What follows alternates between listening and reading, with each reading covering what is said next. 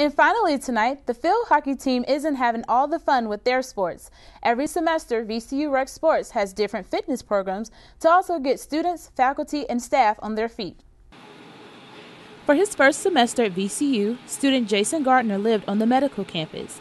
Thing is, all his classes were on the Monroe Park campus. And there were times when I would miss the bus, so I had my bike and I would try to bike the two miles from MCV to Monroe Park, and I would just be so winded afterward. He says that was his wake up call to get fit.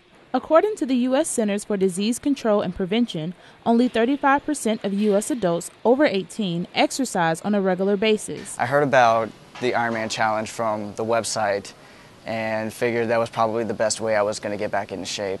That's the Ironman Triathlon Distance Challenge, a fitness program hosted by VCU Rec Sports for VCU students, faculty, and staff. The challenge lasts for nine weeks and it's still time to join.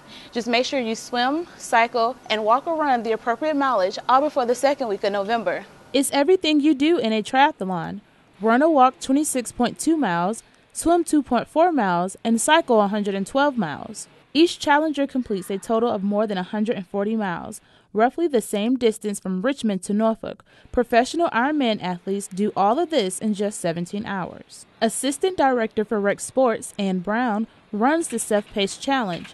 She realizes it's hard to get people, especially students, to exercise on a regular basis. This program is very self-led. You come in when you want to, you report your times, you know, via email. Over 150 participants email their progress to Brown. She then updates everybody's results on the Rec Sports website. They get to see how they're doing. Like it's just like anything. Like if you're trying to lose weight, like you want to write things down. Challengers receive free t-shirts once they complete the triathlon. Getting that t-shirt is a, a symbol of pride that you finish something. For Jason Gardner, physical achievement means more.